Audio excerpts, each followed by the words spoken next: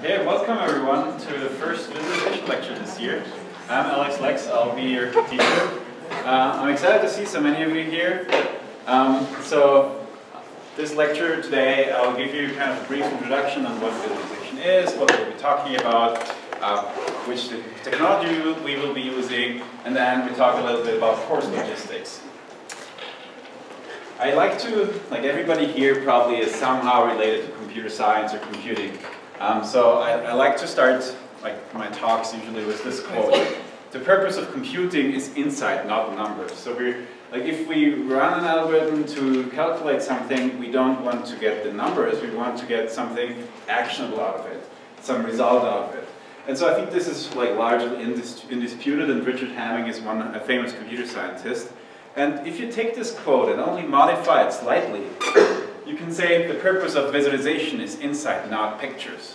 So this class is going to be about making pictures and images and how we display it, but we don't make it to make it just pretty or we, we don't, like the goal of this class is not to produce figures that would come on a magazine cover.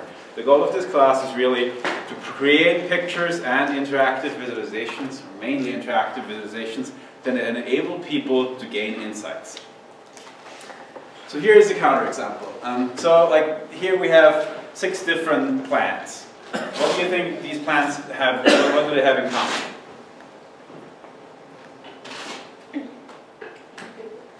What's that? They're edible, right? They're important food plants. They all have fancy Latin names. And geneticists are interested in understanding their ancestry, how are they related to each other, which are the genes that play a role in them. And so people have like to understand how these genes, how these plants are related. We could look at the genes and we could look at how the genes of this plant are related. And so here's a figure that somebody honestly came up with and published in Nature. And I guess you all heard of Nature, which is kind of like the most prestigious scientific journal. And that's the figure. That's what I call a banana Venn diagram. So it's a six-set Venn diagram of the banana genome as related to these five other plant species. This is like a terrible visualization. It serves no purpose uh, of data understanding at all. It's mainly like really just eye candy for making your article look better. Let's take like a moment to look at why this figure is so terrible. So here, up here, we have this tiny intersection on the left that shows you 1,151 shared genes. And then right next to it, this intersection here has exactly the same number of pixels. It's, it, show, it looks like it would be equally important, but it only contains 40 genes. So there's no proportionality between relevance, the size of the data, and the pixels on this image. It is terribly hard to trace like which things go together. Like here, for example, you have a segment with 105 genes. Uh, gigantic representation on the figure, like, but really unimportant if you think of it in a, in a global picture. So, and any of you, like, take a look at this chart again. Um, take a second and think about which intersection is this? Which plants are intersected here? So it's basically impossible to do it unless you sit down and trace with a pen to really see what is going on. So this is like a figure that actually triggered me to start a research project and to publish in a paper on how we can do this better. We'll talk about this sometime later, but this is just a kind of example uh, that, that we don't want to do in this class. So if you look in a regular dictionary, not in like a computer science or internet uh, dictionary, if you uh, look for visualization, like the first thing that comes um, that you will see is something like a form formation of mental or uh, visual images. So I'm visualizing myself having won the Olympics, for example. Um, or it could also be the act or process of interpreting in visual terms or putting into visible forms. These are the dictionary definitions and they're somewhat related to visualization, but they're not the definition that we will be using. So we use this definition. Visualization is the process that transforms abstract data into interactive graphical representations for the purpose of exploration, confirmation, or presentation. So this sentence essentially contains everything that is important to visualization.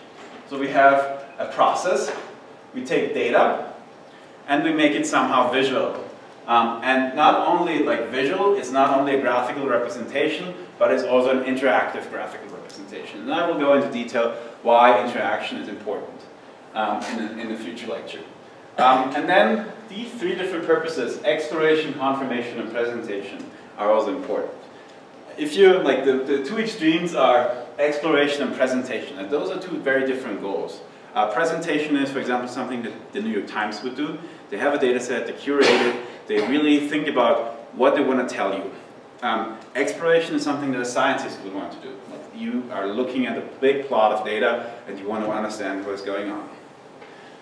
So good data visualization is really about making data accessible. Like we can look, we can have gigantic tables, but they're not accessible. It's about really making data accessible, and it's about combining the strengths of humans and computers. That's also like a very essential concept. It's not, we're not in an algorithms class or a machine learning class where we'll just get an answer. It's about leveraging what humans know and combining it with com what computers can do. It's about enabling insight and it's about communicating. So um, Stuart Card, who is a famous visualization researcher and also human-computer interaction researcher, uh, said, visualization is really about external cognition. That is how resources outside the mind can be used to boost the cognitive capabilities of the mind. So what he means by that is, by drawing something, by plotting something, we can essentially like make it more tangible for us. We don't have to memorize everything. We can find patterns and so on. So it's, it's this like externalization that makes it easier for us to understand. So I mentioned this, um, communication versus exploration, but it's really about informing humans. So for example, who is ahead in the election polls would be like an information or communication aspect. But if you would like to do something uh, explorative, uh, it would be what is the structure of a terrorist network? You don't have like one very specific question, but you really want to understand how are these people connected? Or which drug can help patient X? I have like a large um, test array of um, blood tests of specific patients. I have knowledge about various different drugs. I, I know about how do they connect. That's an exploratory process. And so here are two different charts uh, that are on the opposite ends here. Like I'm not going to go into detail on this here, but this is a cancer subtype visualization technique that I developed um, that essentially shows you five different data sets, how they correlate. It's mixed. Uh, it's, it's, a mixed approach that uses also machine learning and so on. Uh, and here on the right is, is, is, a chart that is really designed purely for communication. So this was done by uh, the Obama administration when he was up for re-election in 2002. And what he was showing is like job loss um, and job gain under Bush and then under Obama. And so he's telling you essentially, oh, everything went downwards under, under Bush and everything went upwards under, under Obama. And so this is the kind of communication they're doing here. Notice, for example, there's a couple of smart things going on in this chart. They could have flipped it around. Uh, but in this case, it was like, oh, it's going upwards under Bush and downwards under Obama. They didn't do that. They're like showing upwards under Obama. So this kind of communication things play a role here. Uh, here's another example of communication. Um, I don't know who of you guys is into football. Um, I'm not particularly, but I still saw this, saw this chart and found it interesting. So Peyton Manning is a quarterback who had a um, record in touchdown passes uh, at 510, and this visualization shows you why it's going to be hard for anybody to beat his record. Um, so we can click on this here, and we'll open up this example. Um, and so what we see here is an interactive chart in the New York Times. We'll have a lot of New York Times examples in this class. Um, and so this is not only a data visualization, somebody has curated it and it's highlighted the important people. Like you can see, not every player here is highlighted. I can hover and it's going to be highlighted, but somebody else has made an editorial decision which players are relevant to always show. Um, and so this is like a very classical example of communication. So there's also a very careful color palette. Um, the gray ones are inactive, so they have never, will never have a chance to actually beat him. Um, the blue ones are active, and you can see that the trajectory of the blue ones isn't quite as good as his was, and so therefore it's going to be hard to beat for them. Um, so here's this uh, cancer subtype example. Um, what this does here is it shows you like um, gene expression data, like the uh, copy number alteration of one specific gene, and then the survival data of, of these patients. And so like the most important plot here is to understand is like here these patients, like the height of this block corresponds to a number of patients. Here like we see most patients are in this block and very few are in this block. So this here means um, these patients here have like additional copies of a specific gene. These patients have many, many additional copies of this specific gene. And so what we're doing here is we're correlating it with clinical data, in this case survival. So this is like a, uh, not a nice data set, it's about a glioblastoma multiforme, a brain tumor. Uh, and what we have here is um, the percentage of people that are alive on the y-axis and time on the x-axis. So every time this line ticks down, somebody has died. And so understanding these kinds of charts is important. Uh, and so what we do here is we uh, divide these patients up according to whether they have an increased number of genes. Um, and what you can see here is that if you have like a normal number of genes, this curve is much flatter, whereas if you have a high number of those genes, this curve is pretty narrow. And we can look at this in, in detail, so we can see like here, low level or high level amplification, the outcomes are really bad. So after roughly two years, only 40% of those patients are alive. Um, but if you have um, the other type of this cancer, this normal copy number level of this particular gene, um, you can see that you have a much better chance, like 65, 70% are still alive after two years. These are the kinds of exploratory tasks that we will be uh, looking at in this class. So why do we use graphics? Why not just numbers, text, communication, speech, or whatever? Well, graphics, like our visual system, has the most bandwidth of all of our senses. Like we can see a lot of information at the same time. We cannot hear so much information at the same time, or at least we cannot pick it apart as easily. Our tactile senses, our smell, and our noses, our taste, and so on, are also not the best senses to uh, take in a lot of data. Uh, so figures are also richer. They provide more information with less color, clutter, and in less space to provide this what's called the Gestalt effect, and we'll be talking about Gestalt principles. Uh, they make structure visible. Uh, they're accessible, they're faster as graphs, they're more memorable, and they're also fun and less formal. It's like, we like pictures and we like to look at them, um, and it's easy to remember them. So here is an example. Um, I don't know whether you guys know the magazine New Yorker. New Yorker doesn't do visualizations. It doesn't do graphics. So what they had to do here is they were talking about a map, about a picture, and I want to read this to you. Um, he then switched to an identically constructed map, only this time based on 2010 census data. And in bits and pieces on the screen, there was simply an arresting picture of what Katrina meant. Like, is this about Hurricane Katrina? In the neighborhoods that were once a dense black, many of the little squares had thinned and turned gray. The sharp lines that once separated the teapot from Central City were now blurry. The white areas of the city were pushing north, into the vacuum left by the exodus. The bywater was graying and it um, gentrified still further. Before Katrina, an American community survey estimated of New Orleans parish population was 455,000 and about 68% black. Now the last estimated 384,000 and so on. So this is like a really long and complicated paragraph that could have been done in a single picture and could have been done much better. Uh, so there is place for text, there is a lot of place for text, there's a lot of place for stories, and for explaining, for looking at numbers. Uh, but if there is a good reason to use a picture, it's usually better to do so. There are good reasons not to visualize. For example, um, if you have a really well-defined question on a well-defined data set. So if you want to ask in biology case, which gene is most frequently mutated in this set of patients. I can run an algorithm, I'll get the answer, I'll know that, and I'll be happy. Or I could ask, what is the current unemployment rate? I don't, if I don't care about the history and how it developed, if I only care about the number right now, I don't need a visualization. And then visualizations also imply the human factor. There is a person involved. So high-speed decisions are not the right thing to do for visualization. So high-frequency stock trading, if you were trying to do this, using visualization, you will certainly lose. Also, if you do something like um, um, checking whether a bottle is broken, I wouldn't develop a user interface that shows me this bottle is broken here. This needs to be an automated process. We need to get this out of the assembly line, essentially. So there is a lot of space for automatic solutions, but there's the complicated and interesting questions where visualization can help. Um, and so, like I mentioned, this is about, like, I see visualization really as, like, human data interaction. Um, and so, there's always this uh, aspect of a computer in visualization. And so this chart is kind of an illustration of where a computer is good and where a human is good.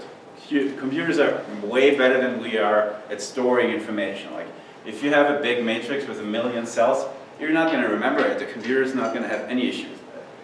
Also numerical calculation, searching, finding, and so on are really things that are great, uh, like easy to do in a computer. Logic is somewhere in between, but then if you get into like bringing in common knowledge, bringing in uh, creativity, bringing in cognition, we're like soundly in human domain where computers are still very bad. Also both for planning, diagnosis, and prediction.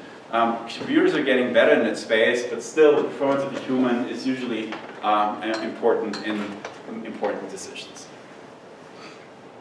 So why not, for example, draw stuff by hand or use Illustrator to render whatever you would be interested in? Well, sometimes it can be infeasible um, just because of the scale of things.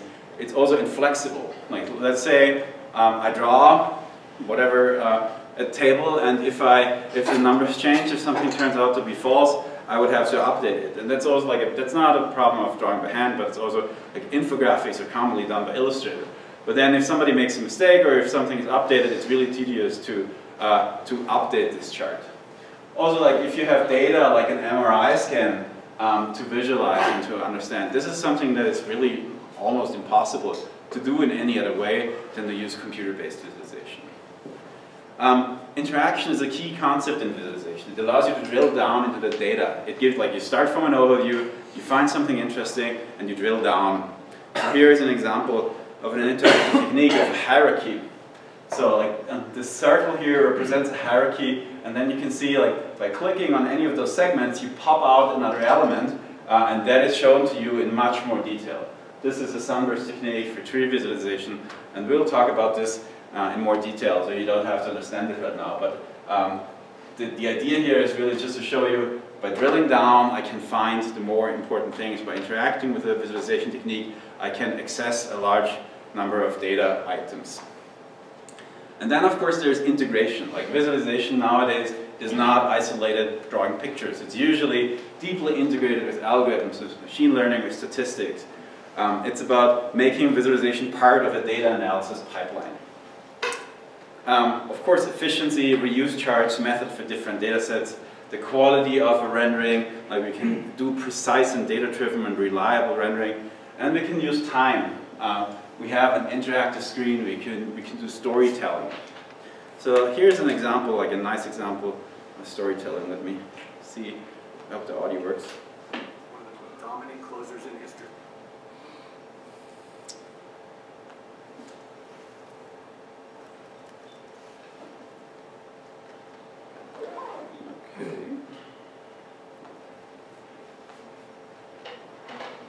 Rivera is one of the most dominant closers in history. But what may be most remarkable is that he has done it by confounding hitters with mostly one pitch, his signature cutter. John Flaherty of the Yes Network faced Rivera as a hitter and also caught him when he played for the Yankees. From a hitter standpoint, he's out on the mound. It feels like he's not even putting any effort into it, and the ball explodes on you. And from a catching standpoint, uh, he's the easiest guy ever to catch because he throws the ball right where you want it. Rivera uses a seemingly effortless delivery, which he can flawlessly repeat pitch after pitch. His cutter is thrown very much like a fastball, but the pitch has significant lateral movement. He creates and adjusts this movement with the different pressure he puts on the ball with his fingers. The pitch's lateral movement keeps it off the bat's sweet spot, moving in on the hands of a left-handed batter and toward the end of the bat of a righty. To a hitter, Rivera's cutter first appears like a straight fastball, making it hard to distinguish the two pitches during the first fractions of a second when the hitter must decide if, when, and where to swing. Hitters often rely on reading a pitch's spin to determine what pitch is coming, but Rivera's fastball and cutter have what appear to the hitter as the same spin.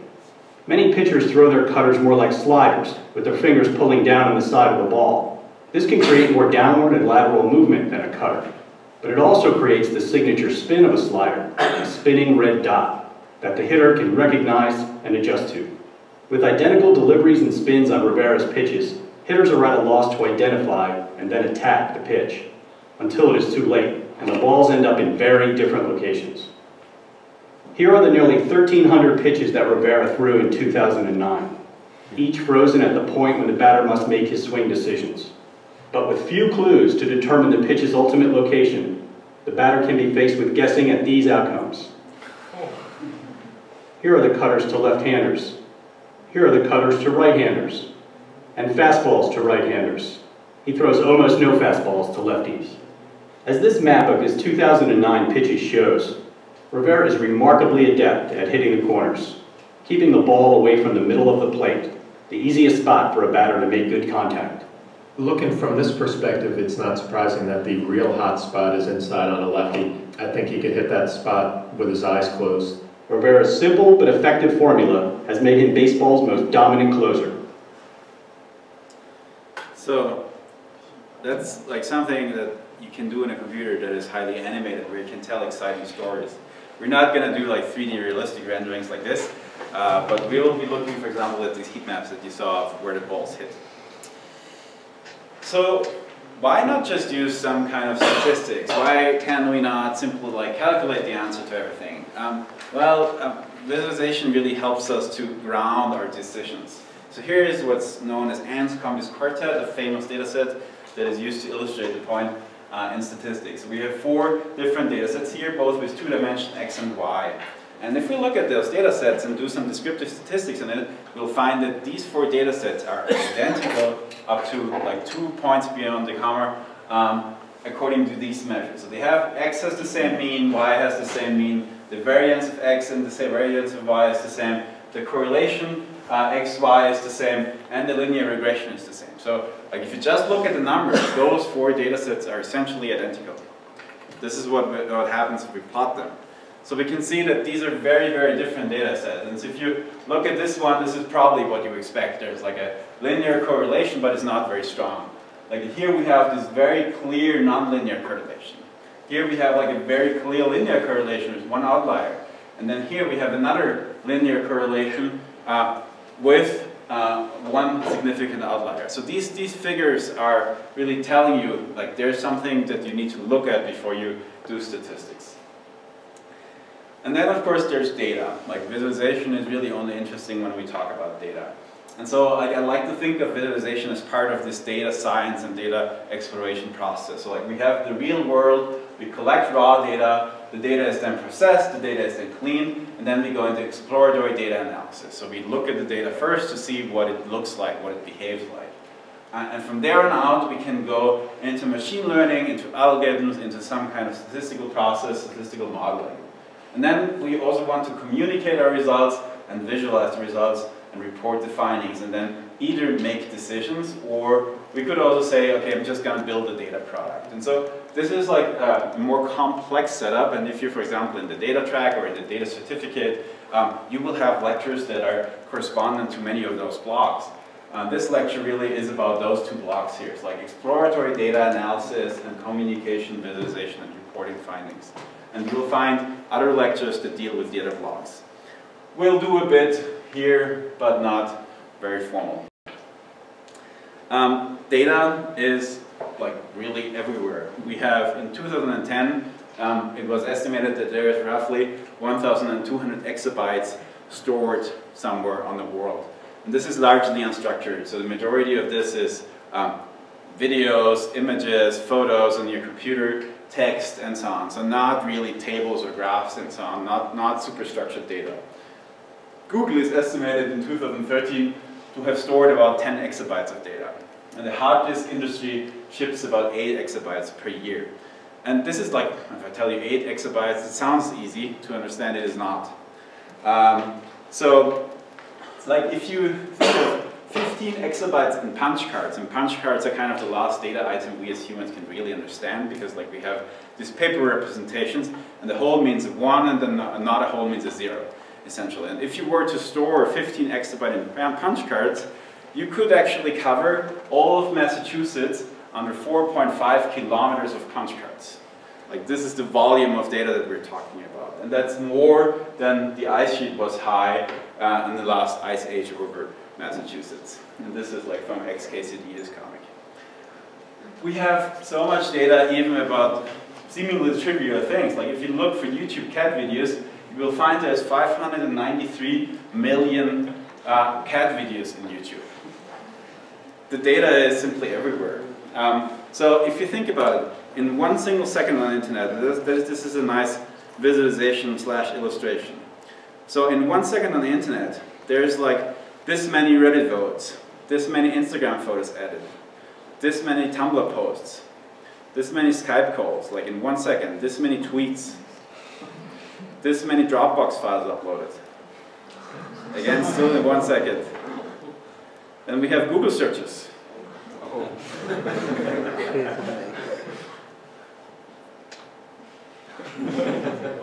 YouTube videos viewed.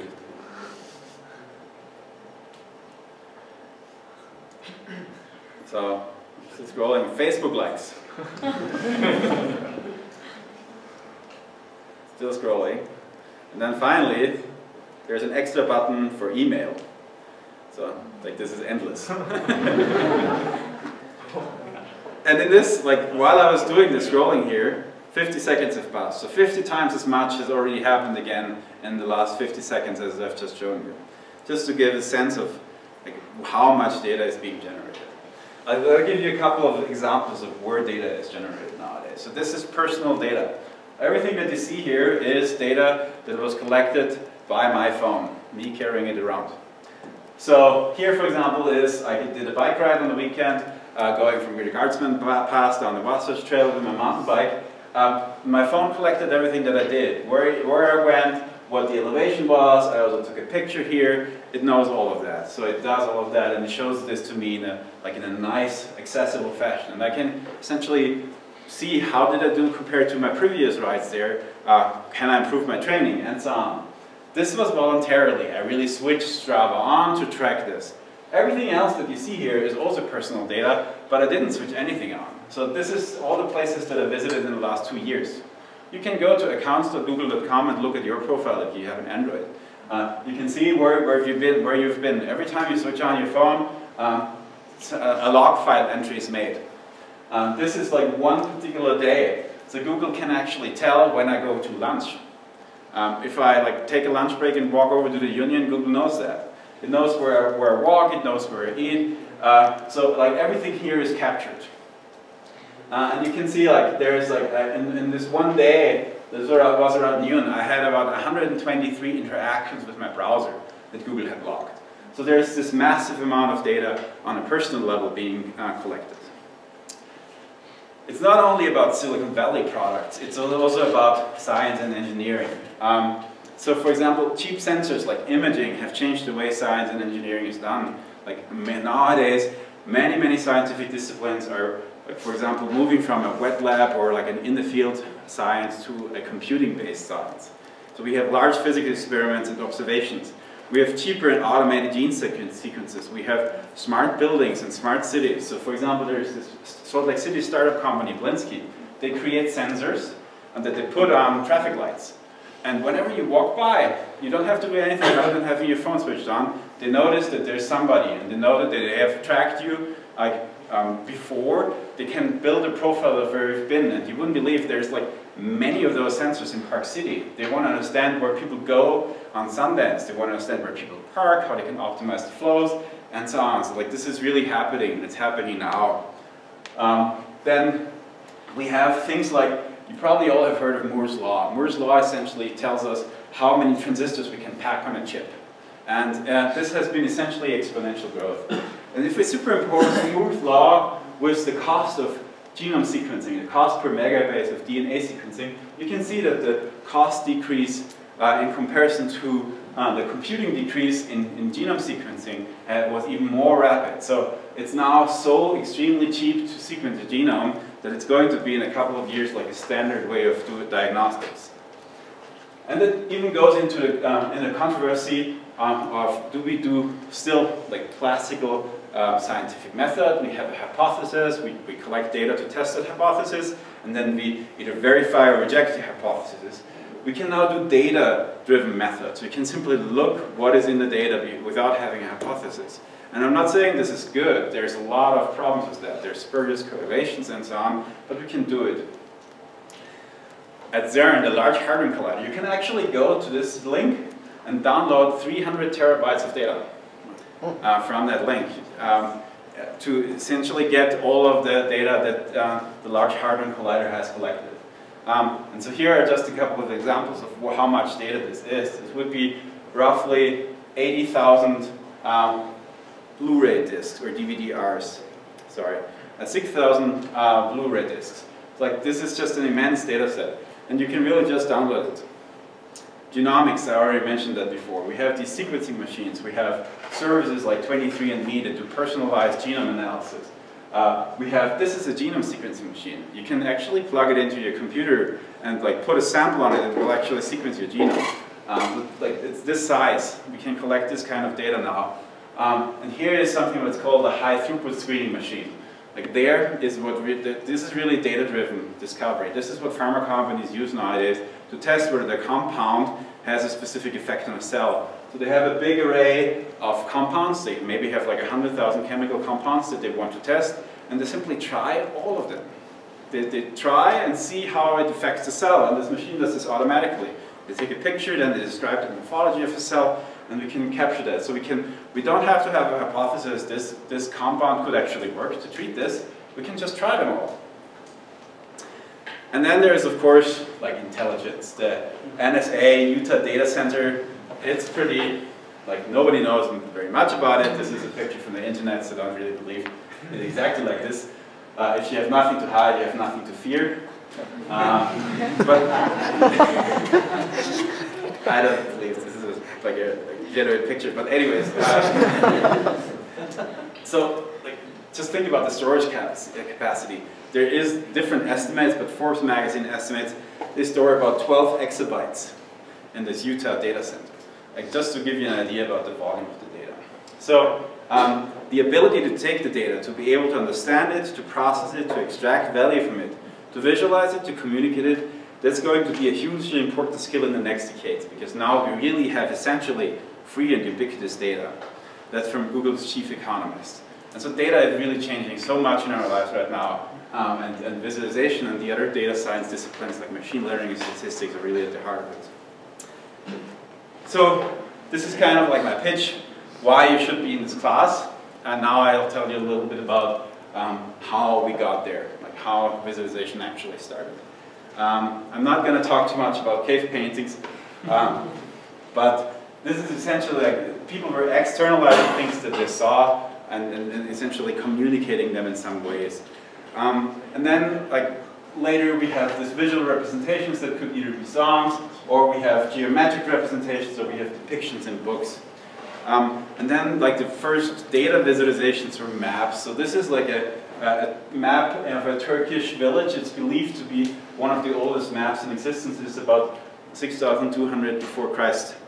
And here's another map where you can see, like if you look closely, it's an unfamiliar projection, but you can see this is the Mediterranean, here's Italy, here's Europe, and this is about 550 before Christ. So like, these are really early examples of, of, of maps, which are also visualizations. And then uh, we had books by, for example, Leonardo da Vinci that were just depicting a reality that wasn't easily accessible, like muscular structure or, or skeletal structure, or um, Galileo Galilei drew the moon, how it looked like, or people drew plants. Essentially, making stuff accessible, making things tangible. Um, and this is like a famous um, picture slash video, picture set slash video by uh, Eadweard Muybridge, and like this is a fascinating story. In the 1840s, um, people weren't sure when a horse is galloping, that do all of his four hooves leave the ground at the same time. So nobody really knew. And there were like hot discussions in uh, in the gentlemen's clubs back then. And so some people like try to um, find evidence for, for how, like whether a horse actually, uh, all of the four legs of the horse leave the ground. And so they devised this like um, camera setup where cables triggered cameras and then they created this photo study and actually showing that the horse does indeed leave the ground with all of the four hooves. And so now a completely tangential story, this guy who recorded that was also like a little bit of a hothead and he found his wife cheating um, one day and then he actually shot uh, the guy. And the interesting part about this is that he was acquitted for justifiable homicide.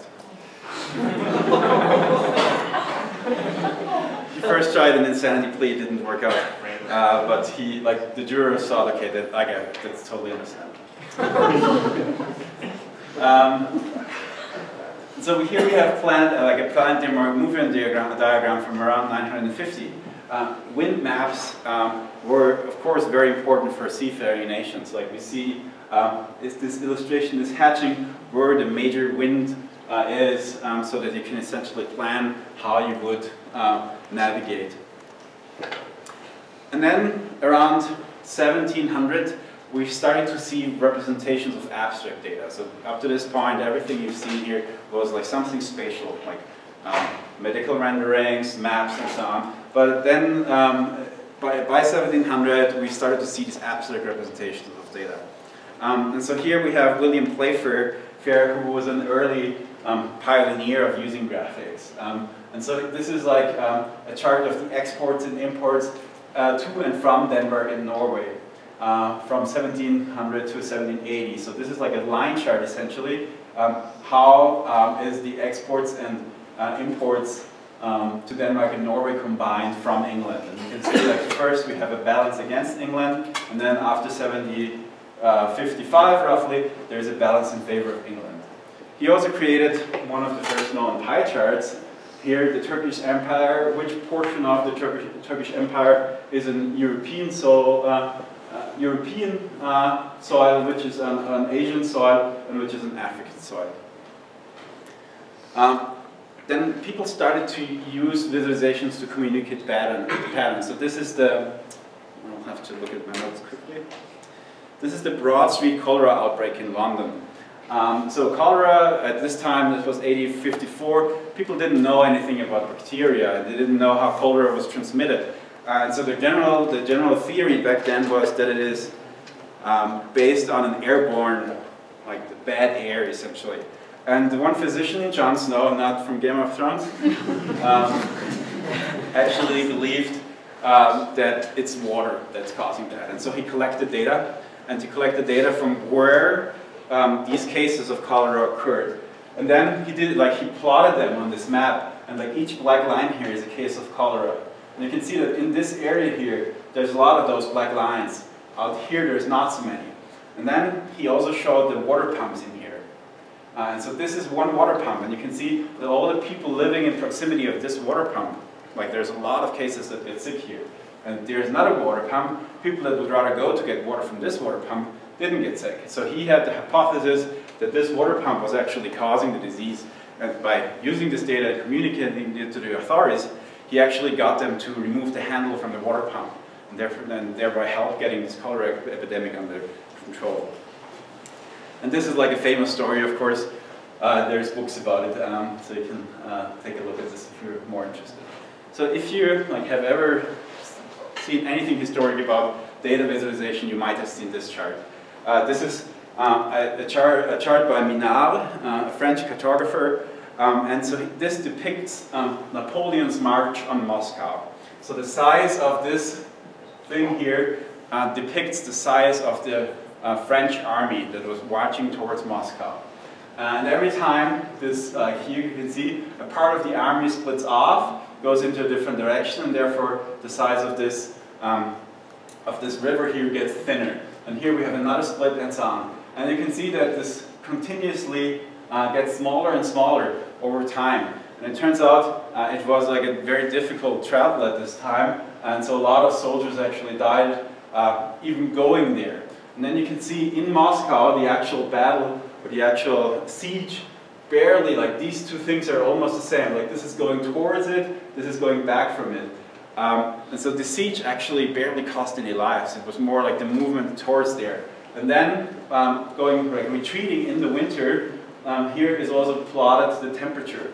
And it was a really brutal and cold winter. And you can see that there's a couple of um, um, like things that happen. I don't know the details exactly, but here at this river crossing, uh, about half of the people uh, that were still in this army died just because of crossing this river in the winter. So like this is like an impressive chart. It's often considered to be like a very inspirational chart. This is what we should strive for, like integrating so much information into such a vivid picture uh, as visualization designers. Um, and so like we have different choices when we visualize data. Here's an early subway map from 1927.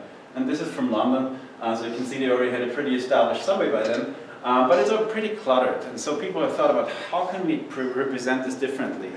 Um, And so, um, like this is like one way of like abstracting this information. This is really just about showing where do the lines go, how do they intersect, but or mostly ignoring the spatial relationships.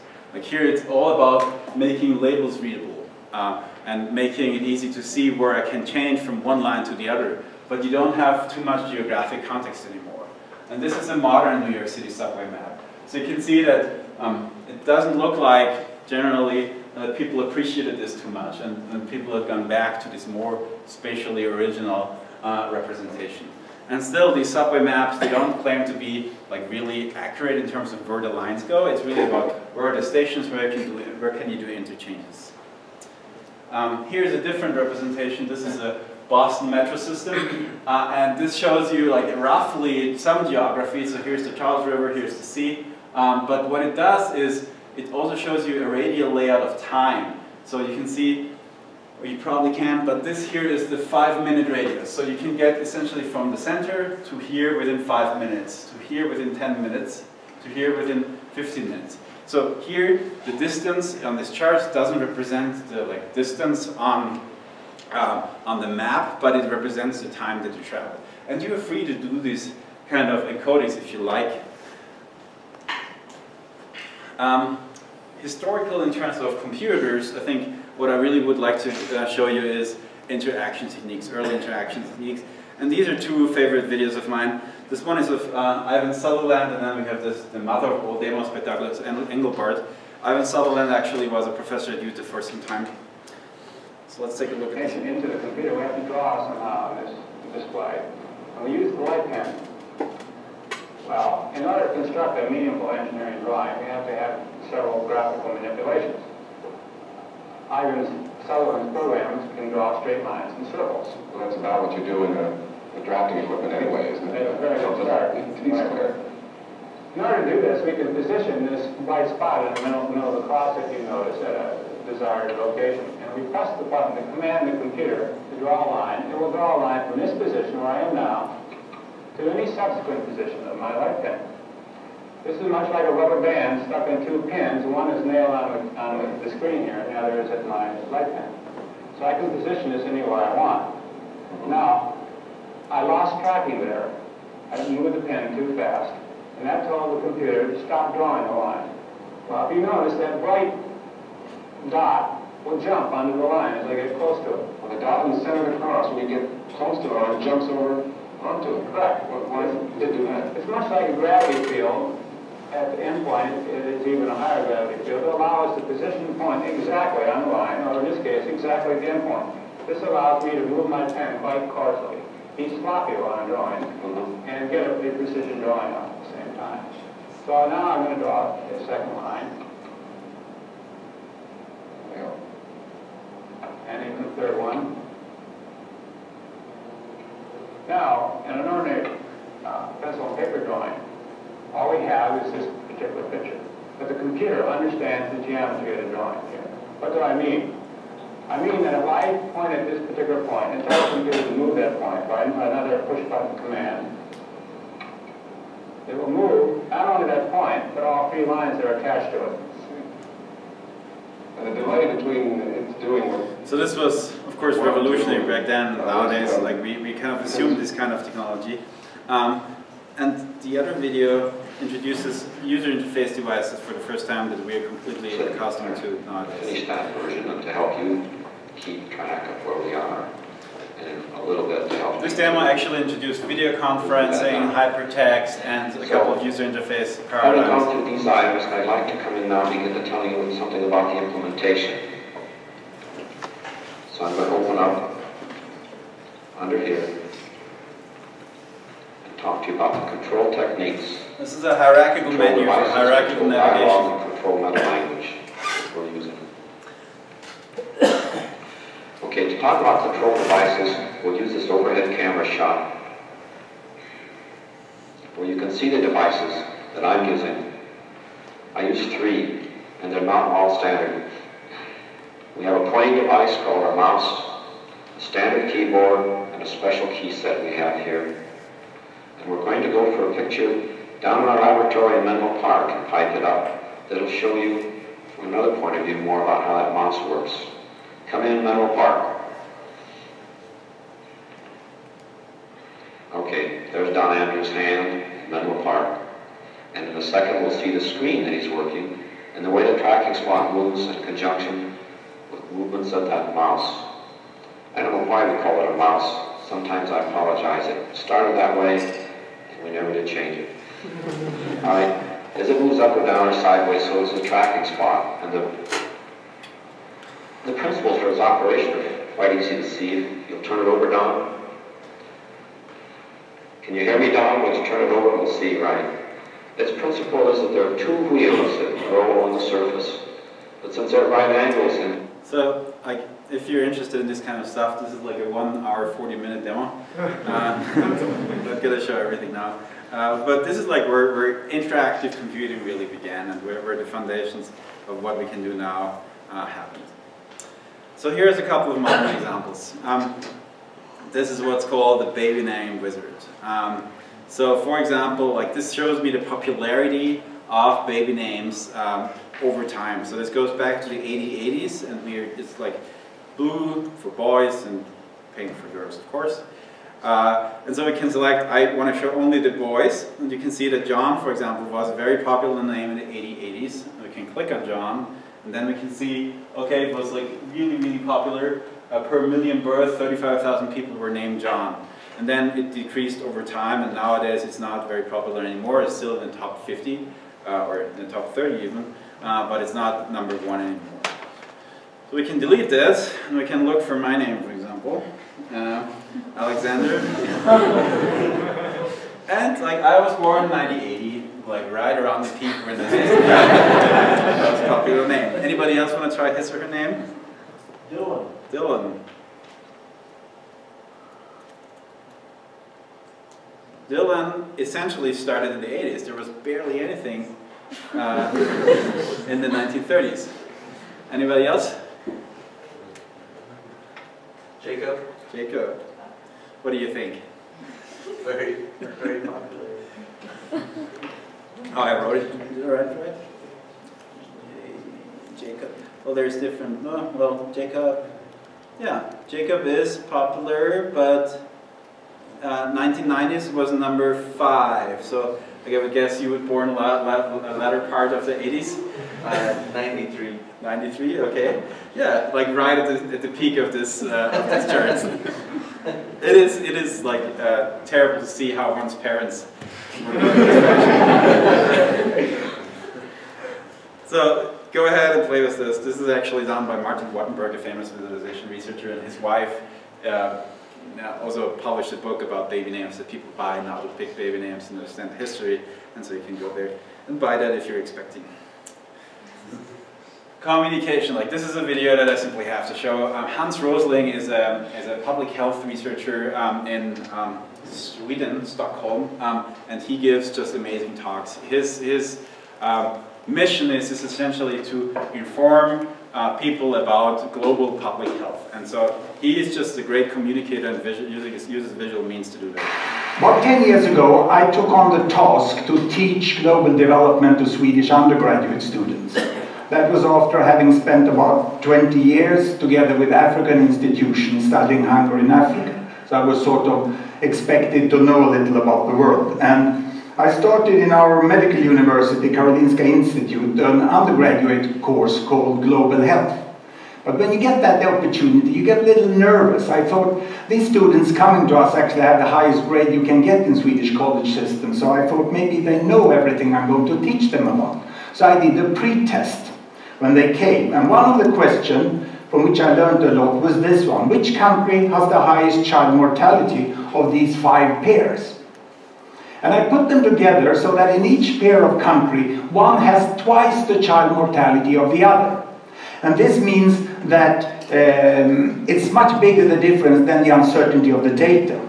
I won't put you at a test here, but it's Turkey which is highest there, Poland, Russia, Pakistan, and South Africa. And these were the results of the Swedish students. I did this so I got a confidence interval which was pretty narrow, and I got happy, of course. I 1.8 right answer out of 5 possible. That means that there was a place for a professor of international health and for my course.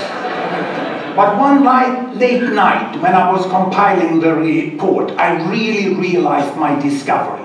I have shown that Swedish top students know statistically significantly less about the world than the chimpanzees. because the chimpanzee would score half right. If I gave them two bananas with Sri Lanka and Turkey, they would be right half of the cases. but the students are not that. The problem for me was not ignorance, it was preconceived ideas. I did also an unethical study of the professors of the Karolinska Institute that hands out the Nobel Prize in medicine, and they are on par with the chimpanzee there.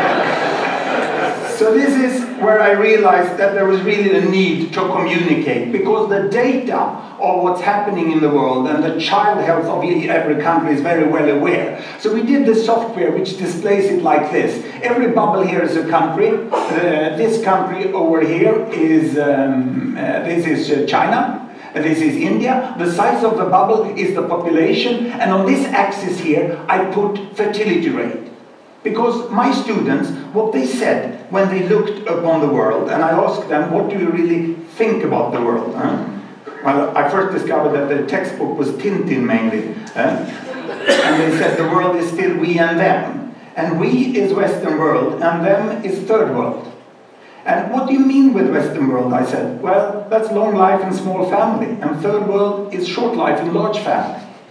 So this is what I could display here. I put fertility rate here, number of children per woman, one, two, three, four, up to about eight children per woman. We have very good data since 1962, 1960 about, on the size of families in all countries. The error margin is narrow. Here I put life expectancy at birth, from 30 years in some countries up to about 70 years. And 1962, there was really a group of countries here that was industrialized countries, and they had small families and long lives. And these were the developing countries. They had large families and they had relatively short lives. Now, what has happened since 1962? We want to see the change. Are the students right? It's still two types of countries? Or have these developing countries got smaller families and they live here? Or have they got longer lives and live up there? Let's see. We stop the world. And this is all UN statistic that has been available. Here we go. Can you see there? It's China. They are moving against better health. They are improving there. All the green Latin American countries, they are moving towards smaller families. The yellow ones here are the Arabic countries and they get larger families, but they no, longer life, but not larger families. The Africans are the green down here, they still remain here. This is India, Indonesia is moving on pretty fast. And in the 80s here, you have Bangladesh still among the African countries there, but not Bangladesh. It's a miracle that happens in the 80s. The imams start to promote family planning and they move up into that corner. And in 90s, we have the terrible HIV epidemic that takes down the life expectancy of the African countries and all the rest of the world moves up into the corner where we have long lives and small family, and we have a completely new world.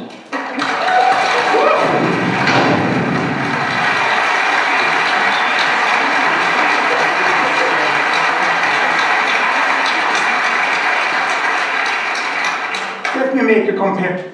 So this is how I expect you guys to present your project.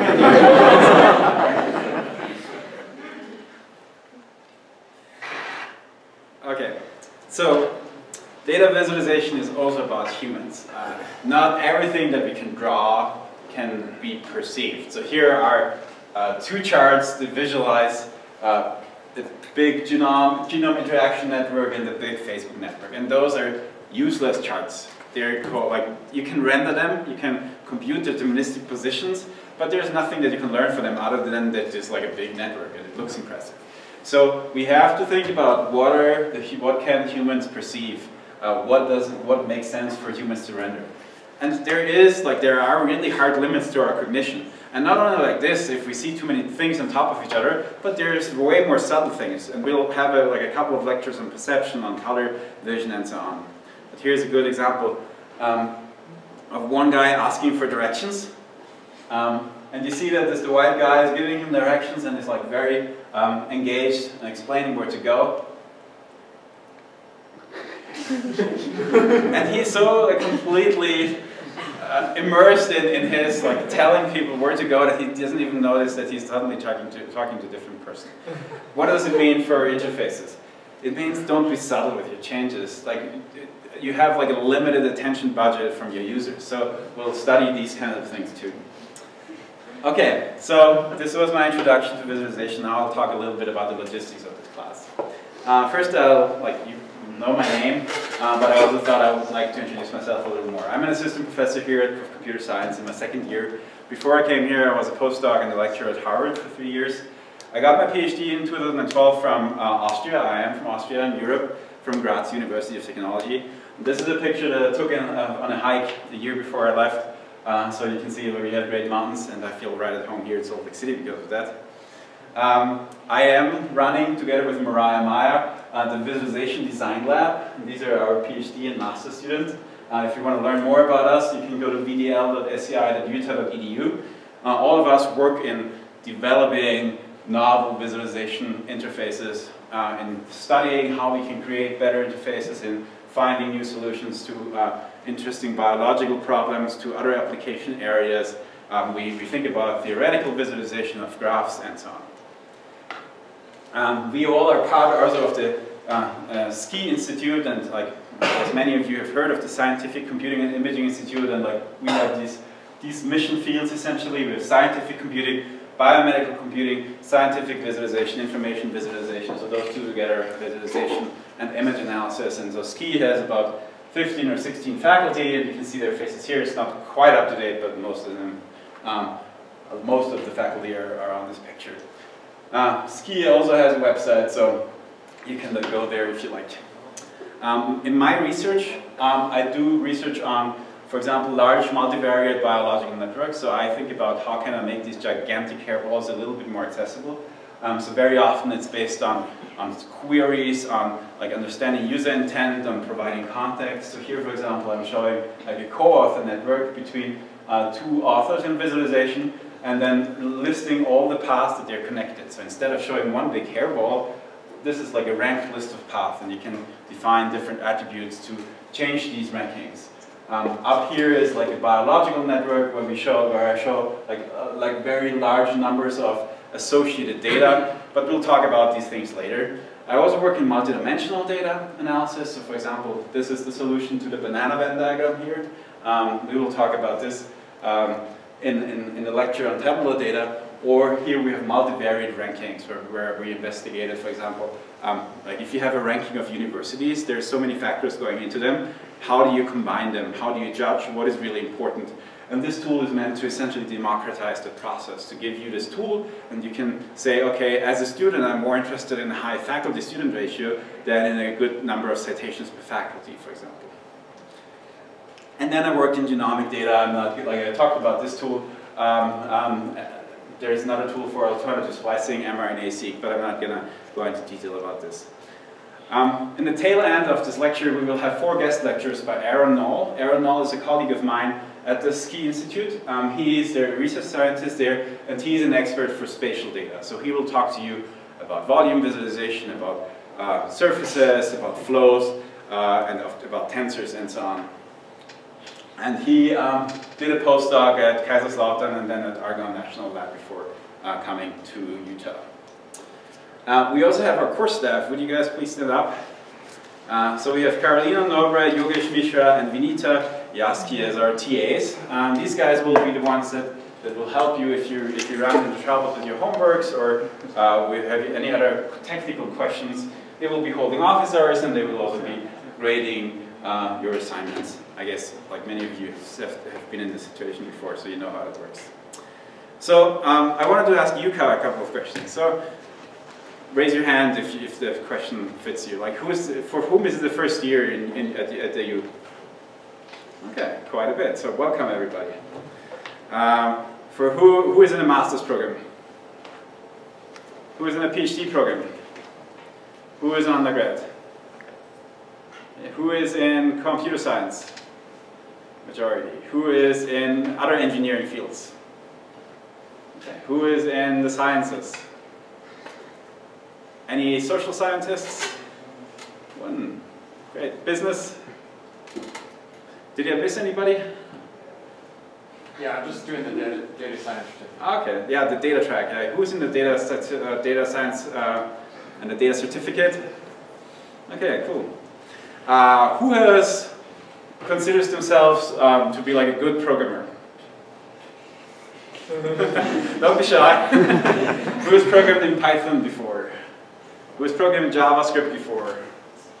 Okay. C++? C, and C++, same Java, I guess. Okay, so you guys know quite a bit already. Great. Um, so a little bit about the structure and the goals. Like, really, like, this is my goal statement.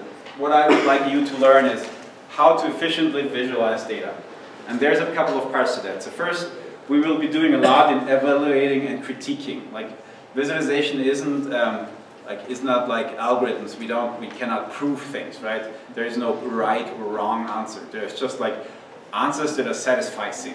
Um, so it's, it's like there's a lot of design component. And I notice that classical computer scientists that are trained in, okay, I want to like calculate the runtime complexity of this algorithm, um, don't really feel comfortable with this idea of not having exact answers.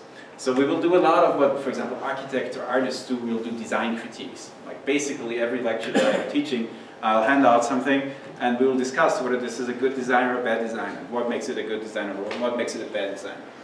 There is a theory of visualization. There's fundamental principles. We know that certain things work and certain don't, and I will teach you this, how to do this. Um, and then it's not just about the basic visual encoding, it's about designing like a solution, a bigger product, a visual analysis solution.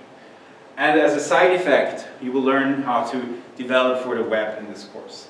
Uh, so we will be uh, doing HTML, JavaScript, D3, CSS, and so on in this course. Um, and this will be like essentially your homework and your project will be very like, you will code quite a bit.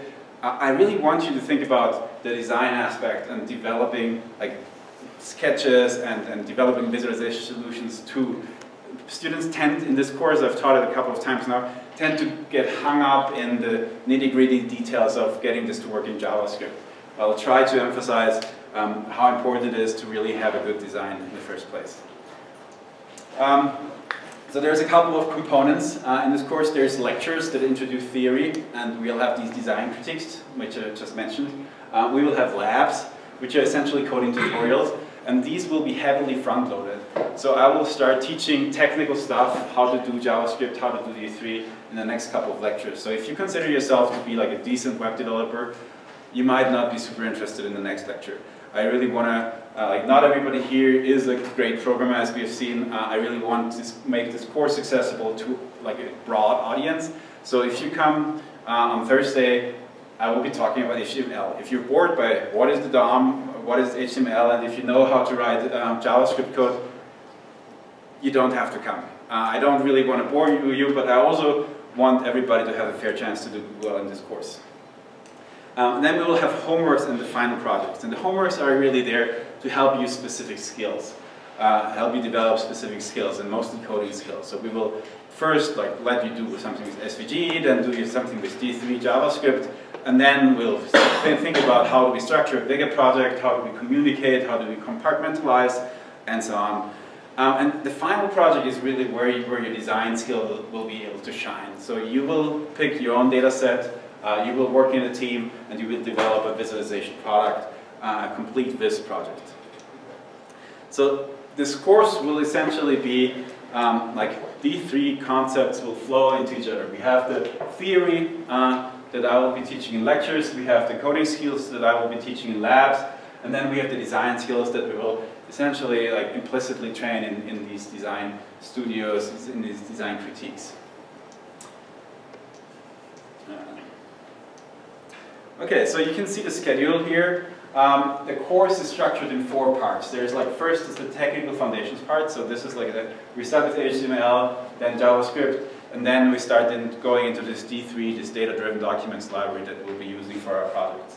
Um, and then after we have covered the technical stuff, we'll go into the visualization fundamentals. So I will talk about uh, perception, about visual encodings, what, what, different types of data are there, uh, design guidelines, what is like, like simple rules that you can follow that make you a better visualization designer, what are like visualization tasks, and so on. And then in the third part of this course, we will go into abstract data visualization. So we will talk about how can we encode things like big networks or tables or sets or maps. And then finally, we will have uh, uh, a section on spatial data visualization where we talk about volume, surfaces, flow. Um, so you can go to the website, um, the schedule is there, also with the various deadlines are shown in the schedule, and there's also the canvas uh, where all of the major times are added to the calendar. So this is the website, you, like it is kind of your first stop for everything that is related to this course. Uh, you can see the syllabus here, and I would really like ask you to read this um, and to make sure that you understand all of the um, like concepts in this course, how we how we run the logistics. Um, the schedule, the schedule also con contains um, links to um, to the various um, tutorials that we will start with. So we will start, like I'll start introducing, for example, next lecture, version control Git, because I think it's important. Um, and you will also have to use it in your project. Yes? Uh, for Git, is, uh, if I recall correctly, the class website is submitting through Canvas? Uh, that is correct. So what is Git being used for? Uh, for the projects. Oh, okay, so you can Yeah. share it between. Exactly. So, up, like the previous iteration of this course, I did everything in GitHub. Uh, this year, we've decided to switch to Canvas. It's a trial. We'll try it out. We like usually it worked great with Git uh, and GitHub. We had a couple of cases where people published their homeworks in like unknowingly. Um, so we're trying this now with, with Canvas. I still think it's important for computer scientists and engineers to understand how version control works, and you will need it in your projects. Uh, there's like a couple of features. I'll talk about this more on Thursday. Um, and so there's links to these tutorials here, and they're actually interactive. So like you can, uh, well, the HTML parts are interactive, so you can actually like play along with this, and then this will actually update. So the way it will work is I will go through these examples, and we'll uh, I'll do some live coding and, and show you uh, how this works. Um, so for communication, I would like to ask you to talk about anything that is like, for example, uh, if you get hung up on, a, on some problem with your code, I would like to ask you to use either Canvas or to use the, uh, the office hours. Please don't email me with my code doesn't compile or I can not get this back. Like this is a big class. I'm happy to help, but I, I, I want to help where it's also helpful to others.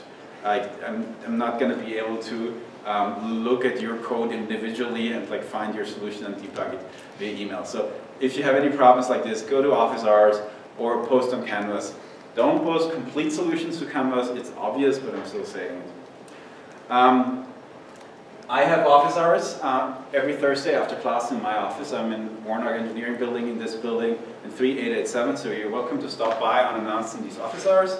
Um, and TAs will have office hours where they can help you with homeworks and coding questions and so on starting next week.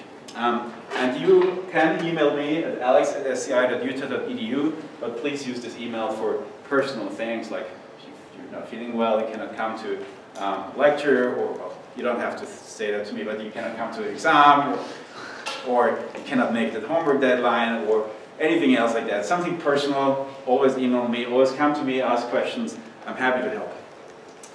Um, there's two required books. Um, this one is kind of the theory. It is pretty dense reading, but it is a good book. So if you're interested in visualization beyond just getting a grade in this course, I would really strongly recommend that you buy and read this book. Um, this one here is a technical introduction. Um, so this is about D3. It's also available for free uh, online through the Safari library. There's a link to it um, on the course website on the syllabus. Um, one caveat, um, this book is written for D3, D3 version 3 and we'll be using the latest version, version 4, so there will be some minor differences. I will hint at them uh, in the next couple of lectures. I already mentioned that we will be programming in HTML5. Uh, we will use JavaScript um, and we will use this library which is like really amazing. It has changed the way how visualization is done on the web, the data-driven documents. Okay, so you might ask yourself, am I in the right course? Is this really, um, am I, will I be able to survive this? Or is this going to be way too boring for me? Um, so you're expected to have programming experience, and I saw that most of you have, so you should be fine. Uh, you don't have to know about JavaScript. I will be teaching you that. So if you haven't done JavaScript, that's fine. Um, you have to, you'll have to have a willingness to learn new software and tools. So as like any engineering, this is like especially coding, um, you learn coding by doing it. And that's why we have homeworks, that's why we have projects. Uh, you will fail and you will make it, you will notice why you're failing and you will get better at it. Um, and there's like a, a, suite of tools that we will be using um, to do these kinds of things. Um, so really, um, you will need to build these skills also by yourself. You cannot completely rely uh, on, on me teaching you everything. You will also have to find, like, find solutions to problems that you run into. Okay, a couple of formalities. Um, how are you graded? Um, we will have seven different homework assignments that make up a total of 40% of the grades. The value of these homework assignments varies depending on their difficulty and their effort. So the first ones are going to be less uh, and the later ones are going to be higher in percentages. I would recommend that you start early. Like if you haven't worked with D3 or JavaScript, it can be a little tricky. So if you start three hours before the deadline, it's not sure that you'll actually finish. Um, you could definitely if you know what you're doing exactly, but I just like, really don't want anybody to, to, um, to be surprised if something doesn't work quite out. Um, the due date is always in five days, um, at least for now. Um, there will be late days, so if you cannot get an assignment in on Friday night, um, you can submit it on Saturday. You will, uh, we will deduct 10% of the point per points per day, so that can be like a um, valuable, like if you basically have 50% working, uh, it might make sense to submit on Saturday. Um, and so you can use up to two of those late days, um, and so you have to submit by Sunday night. And then we will release solutions to all of our homeworks early in the week so that you can look at it and find like, okay, did I, do this right? And that you can essentially be informed about how to do things better for the next homework. Um, the final project is 40% of your grade. Um, it's done in teams of two or three. We will, we will make rare exceptions for that. So if you really have like your narrow data set that nobody else understands because you're the uh, biochemist that it works exactly with this data set, we might make an exception that you may work by yourself, but generally it's teamwork. Um, we will have two milestones. The first one is going to be less important, but it's, it's, it's designed so we can essentially give you feedback. So first you will propose your project in one of the homeworks, then you will have a milestone submission that will be 10% of your overall grade, and then you'll have your final submission that will be 30% of your overall grade. So the final project is pretty important. And then we'll have two exams uh, in the last week before the fall break and in the last week before exam period is actually midterms. Um, they're not like high value, 10% each, um, but they're essentially here to see whether you kind of paid attention on the theory. Um, as you all probably know, the School of Computing is the very, very uh, strict on cheating. It's actually the department with the strictest cheating policy in the whole university. So if you get caught cheating, you fail the course. So if you copy code, if you get ca caught cheating in two courses and you fail those two courses because of it, you're out of the program. Um, I'm not expecting this to happen. I just want to be explicit that we automatically check um, your submissions to, for similarities to each other, for similarities to any other homework that we have ever collected, and for resources on the internet. So please, if you use code, you, like software engineering nowadays is work, you work by examples, you look on Stack Overflow, you look on other examples on the web, that's totally fine um, if they're like, don't copy them and also put references to them in your code. That's essentially what I'm asking you to do. And you're also welcome to discuss problems uh, to show your code to your colleagues and to ask them, can you help me? We, we, we want you to interact with each other, but you cannot copy code verbatim, and you cannot look at it and type exactly the same thing. Um, and this is like really, really uh, a problem. Like if that happens, it's really uncomfortable for us, it's really uncomfortable for you. It's just a terrible situation, so I would ask you simply to not even get us into this situation. I haven't had problems in the past before, but we have had a couple of issues in the department, so um, we, we have been asked uh, to make this very clear. Um, so one other thing that I want to tell you about, I'm not going to enforce this, but I would suggest that you don't use your devices while you're in class here. Um, the thing is that I try to do like an engaging and entertaining lecture, but I cannot compete to your buddy texting you on Facebook. Um, there is like this red light in your peripheral vision um, blinking and it's going to grab your attention even if it's super boring and you're going to be distracted. And there's a lot of studies that show A, note-taking per hand is more efficient uh, and B, like if you have a device like your phone uh, in front of you, if you have your computer open, your Facebook feed open, your Twitter open, you're simply not going to retain as much. And if you're in this lecture, you don't have to come. I, I appreciate it if you come. I really like, like to run an interactive classroom, uh, but you don't have to come. Nobody is forcing you to. And if you come, please do pay attention. Um, and one way of doing this uh, that makes it easier for you is to simply put away your devices. Of course, in the coding lectures, you're actually encouraged to bring your devices and to code along, to try things out. So that doesn't apply. This only applies to the theoretical lectures. Okay, this week um, there is a Homework Zero due which is not created. This is basically an introduction and some setting, uh, some setup stuff. Uh, we will ask you to get uh, free GitHub repositories for your project. This sometimes can take a while. I think GitHub has gotten better, but um, it's still um, good to do this early. Uh, there is a reading for this week, um, the D3 book, chapters 1 to 3, so you should go through that, and the um, Visualization Design and Analysis book, chapter 1. Um, next week there's the first real homework due. Uh, homework 1 is going to be pretty simple, it's just doing some SVG elements. Um, and then we will talk more about technical foundations, about JavaScript, what is JSON, what is D3, and we will start holding off as ours. And um, the homeworks are published on GitHub, um, so you can go there um, to this website and see the homeworks, and you can see homework 0 and homework 1 is published. Here is an in instruction on how to clone that. I guess many of you have seen that, and if you if you don't know how to do this, you will learn it in the first lecture or in the first coding lecture on Thursday. So here is homework one, and so in homework one, you will essentially build uh, SVGs that represent this data here. Um, so take a look at this. Um, and so that's the end of my lecture. Um, I'm happy to take any questions if you have them. If not, you can also come out personally to me and talk about any organizational stuff. Thank you. Will the slides speak on this? Yes. How about the video? Uh, the video is on YouTube.